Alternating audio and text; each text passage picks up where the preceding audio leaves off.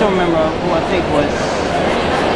I think one Ian McDiarmid from uh, Star Wars was paid, paid. They wanted to pay hundred dollars just to see him.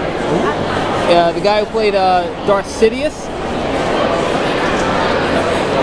He wanted to, yeah. The guy who played Darth Sidious once uh, um,